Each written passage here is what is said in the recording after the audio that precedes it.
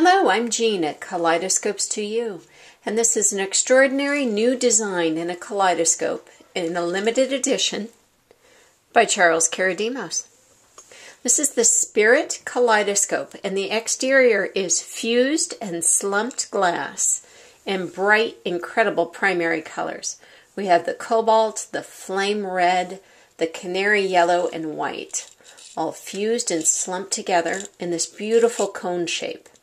And then Charles has also flamed and fused a piece similar to the, for the bottom of the object chamber, which gives some coloring to the background of the interior image, as well as the eyepiece. He then takes all these uh, pieces of glass and uses the copper foil stained glass technique to build the kaleidoscope and even hand solder the feet. Now, when Charles is all complete, he does sign his kaleidoscopes. And here you'll see number 5 of 8, C.S. Karadimos, 2012.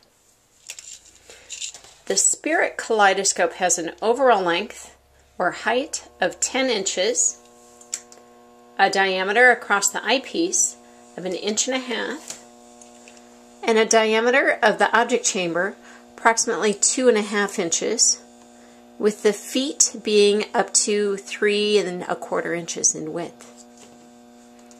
And of course, the best part of any kaleidoscope is the incredible intricacy inside the mirror system. And here the aperture of our camera is blocking part of the view, but your human eye will look beyond uh, the black portion there to see this gorgeous interior image that you see filled with the cobalt, the reds, the yellows, and all of the colors that those combine to make. The incredible symmetry that you find within a Charles Karadimos object chamber and mirror system.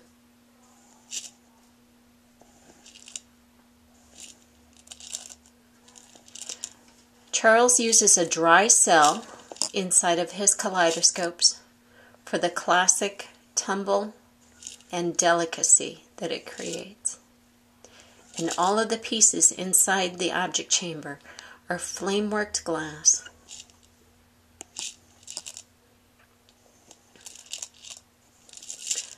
Charles really likes adding that touch of black glass to the interior object chamber as well to give definition to these interior images.